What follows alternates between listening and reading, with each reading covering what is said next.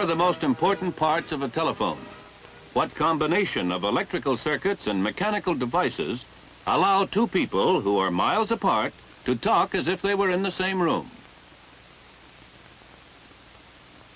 You will see in this film how three fundamental systems use six basic components in the creation and regulation of the vital currents in the telephone line. You will see how the sound-powered system, the local battery system, and the common battery system utilize generators, ringers, transmitters, receivers, induction coils, and capacitors to carry the sound of our voice over two simple wires. Actually, our line forms a closed circuit through terminating points, connecting two stations on a point-to-point -point line. Before station one can talk to station two he must signal for his attention. The telephone generator is used for this purpose. Let's see how the generator employs the principle of magnetic induction in the creation of voltage to operate a suitable signaling device. This represents a piece of wire which we will move through the lines of force created by a permanent magnet. When a wire is moved through lines of force, a potential is induced in the wire which alternates as the wire is moved in or out. We can increase this potential by speeding the motion of the wire through the flux field created by the magnet.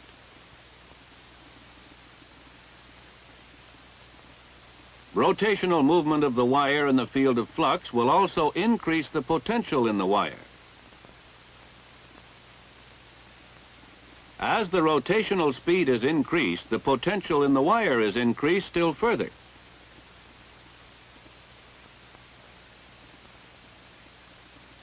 If we also concentrate the magnetic field by bringing the north and south poles of a magnet closer,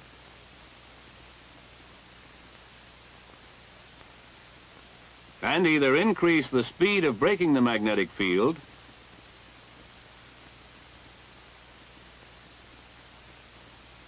or increase the number of wires rotating across the lines of force, we will have a generator. Some generator magnets are located within a coil.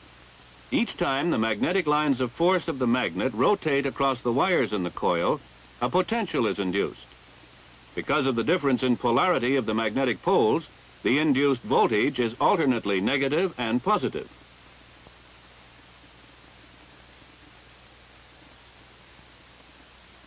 When we connect this generator to our line, it will create a signaling current alternating at approximately 20 cycles per second. Let's take a closer look at the electron flow in one of the lines.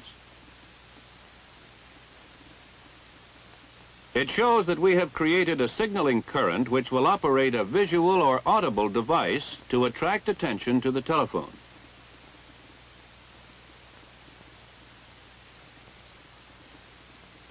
The audible device is the telephone ringer or buzzer. The telephone ringer works on the principle of electromagnetic attraction and repulsion. When two soft iron cores are wound oppositely with wire, they become electromagnets whose polarity will change as the current in our line alternates.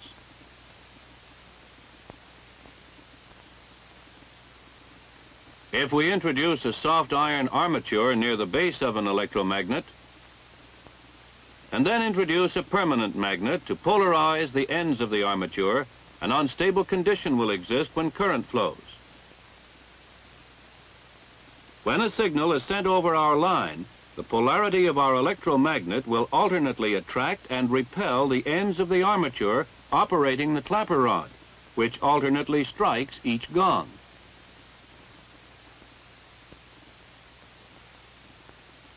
Here we see an actual telephone ringer in operation. Another audible signaling device is the telephone buzzer. This device uses a bar magnet, an electromagnet, an armature, a non-magnetic separator, a stabilizing spring, a clapper rod, a diaphragm, and a single wire coil. As the current changes in the wire, the polarity of the electromagnet changes.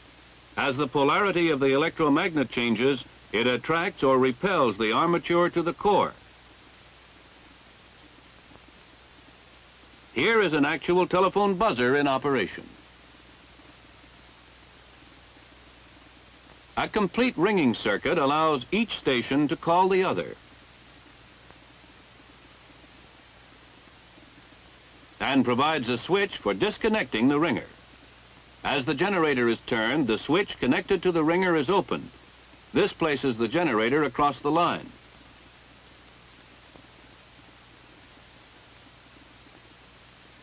The same thing happens in the opposite direction.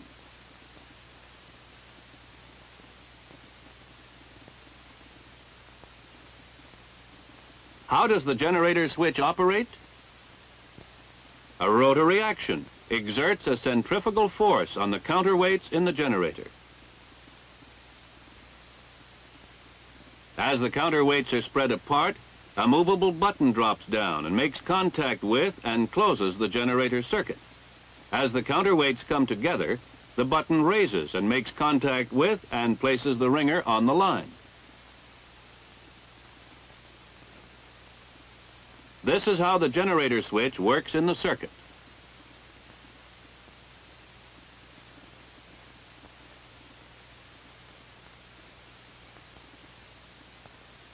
The miracle of the telephone is that when once signaled, two stations can talk to each other in normal tones over virtually limitless distances.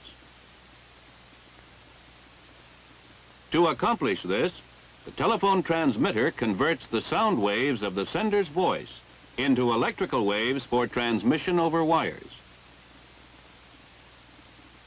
At the other end of the line, a receiver reconverts the electrical waves into audible sound.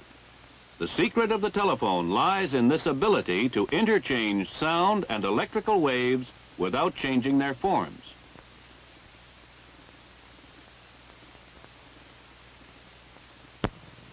For the initial transformation of sound waves into electrical waves, the sound-powered transmitter employs the same principle of magnetic induction used in the generator.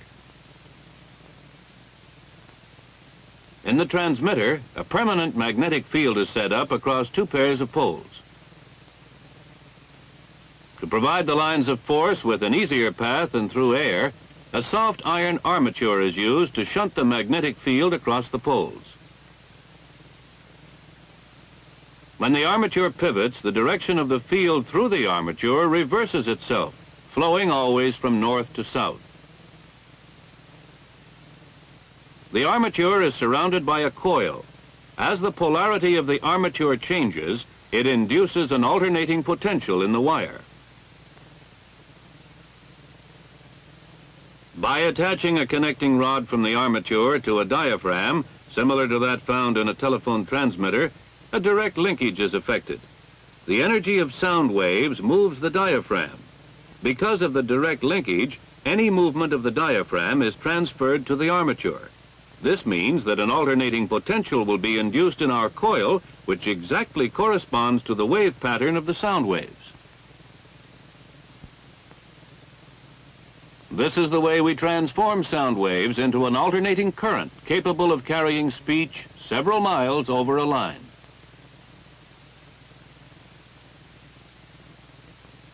At the other end of the line, a device similar to the transmitter reconverts the electrical current into audible sound. The telephone receiver, however, employs the principle of electromagnetic attraction and repulsion used in the operation of the ringer. As the voice current in the coil alternates, the polarity of the armature reverses, causing each end to be alternately attracted or repelled by the permanent field magnet. Consequently, the diaphragm pushes out audible sound waves exactly mirroring the waves of the original sound.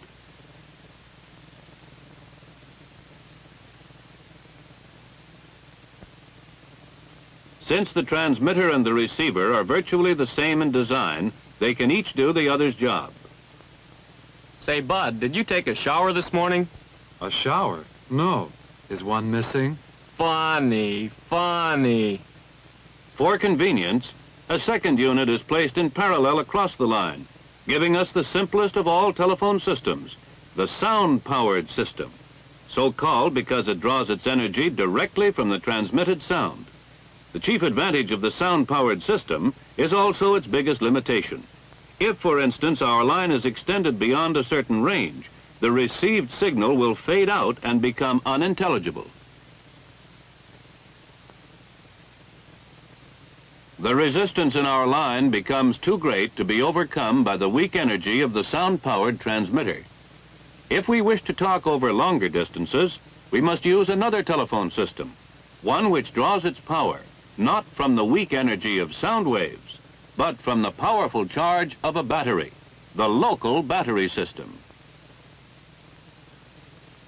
Now, instead of using a sound-powered device to generate an alternating current, we will use a carbon transmitter to vary the release of direct current from a battery. Sound waves striking the diaphragm compress loose carbon granules in the carbon transmitter. This lessens their resistance and allows more electrons to flow in the circuit. Our voice is therefore carried by a pulsating direct current pushed by the strength of our battery.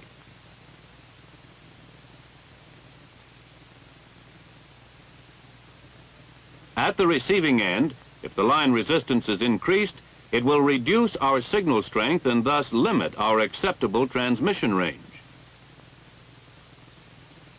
The solution is to insert an induction coil, which is simply a soft iron core around which are wrapped two wires, a primary and secondary winding. This removes both transmitter and battery from our circuit and at the same time induces a higher AC voltage in the secondary winding connected to the line. Sound waves varying the electron flow in the transmitter circuit cause the field of both the primary and secondary windings to expand or collapse. As the magnetic field of the primary cuts the windings of the secondary, an alternating voltage is induced into the secondary winding. Because this winding contains more turns than the primary, an increase in voltage occurs, represented by the larger polarity signs. This will permit transmission over longer distances. Since our power will continue to drain even when we are not talking, our battery life can be prolonged by inserting a press-to-talk switch in the transmitter circuit. By adding a receiver, we are ready to talk, alternately receiving or sending. We can hear ourselves in our own receiver through an effect known as side tone. If we listen with our press-to-talk switch closed, the incoming voice will be interfered with by background noises coming from our own transmitter. Our ringing circuit allows station 2 to signal station 1, and vice versa.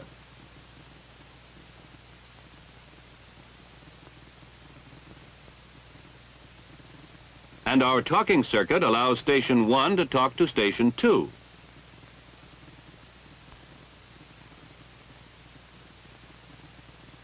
and vice versa.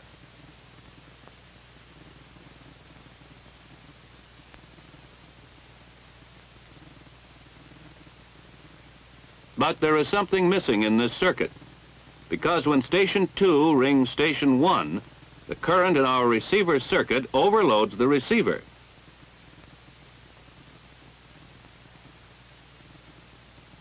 The same thing occurs when station 1 signals station 2.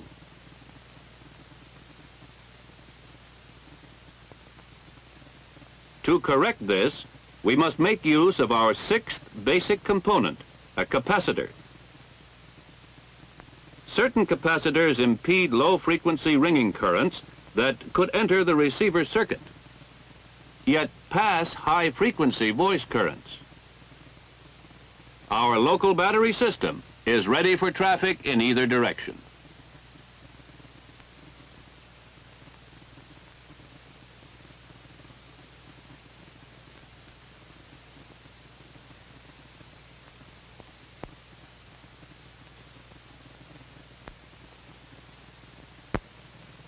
The local battery telephone has a much greater transmission range than the sound-powered telephone. In a field telephone, the transmitter, receiver, and press-to-talk switch are combined into a convenient handset. The induction coil, capacitor, generator, battery, and buzzer are contained in a waterproof housing. Not only two, but many stations can be interconnected, one way or another, by use of a switchboard. First, let's consider the local battery switchboard. We can simplify our wire stringing by bringing only one line from a telephone to a central location and terminating it on a switchboard. Here, plugs and jacks are provided, allowing an operator to connect each station with any other station. A visual indicator allows a station desiring service to attract the operator's attention. The operator's pack contains a headset consisting of a transmitter, receiver, cord, and plug for talking and listening to stations. The operator also has a generator for ringing. Here's what happens when one station calls another through this switchboard.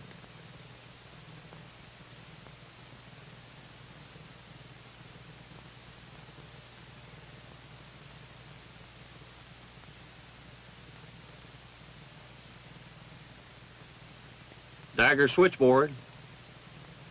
Dagger 3, Dagger 3.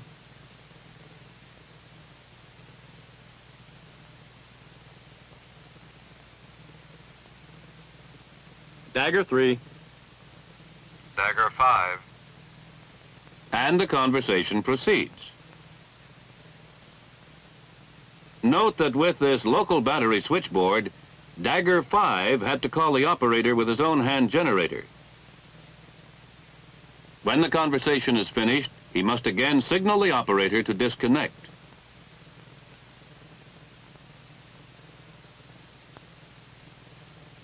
We can facilitate the handling of calls even further by using a common battery switchboard.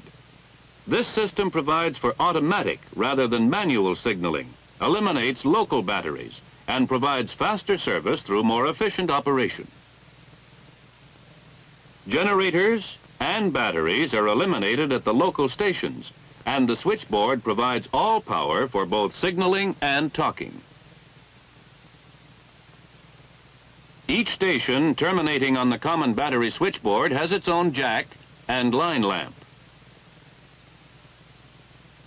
The operator's key shelf is provided with a battery source and contains a generator, an answering cord, a supervisory lamp, a calling cord, and a supervisory lamp which signals when the receiver is replaced on the hook. The operator is provided with a key which, in one position, allows him to talk on the line, and in the other position, allows him to mechanically ring any station on his board. Now we will see how much easier it is to place a call over this system. The operator is automatically signaled the moment a station takes the receiver off the hook. At the same time, the hook switch puts the battery in the transmitter circuit, making it ready for talking. Number, please. Dagger 3, Dagger 3.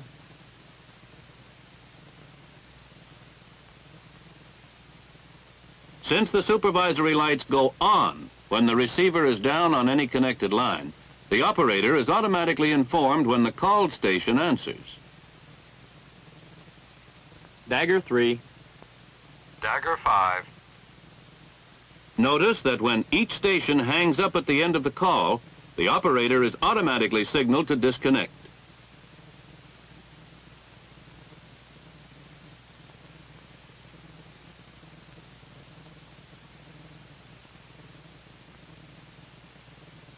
Let's review the three basic telephone systems. The sound-powered system uses generators, ringers, capacitors, receivers, and sound-powered transmitters. If necessary, a switchboard can be used to handle many stations. The local battery system uses generators, ringers, capacitors, and receivers, but uses carbon transmitters instead of sound-powered transmitters. In addition, it uses induction coils and draws its energy from batteries at the individual stations. This system, too, may or may not use a switchboard. The common battery system, however, must use a switchboard, providing power for both signaling and talking. Ringers, capacitors, receivers, carbon transmitters, and induction coils are again used at each station.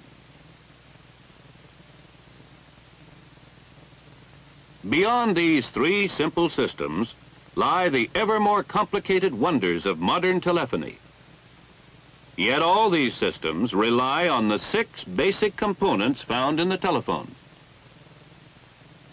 They are generators, ringers, transmitters, receivers, induction coils, and capacitors. All of the three basic telephone systems depend upon our line, which must be properly engineered for the telephone system to be used.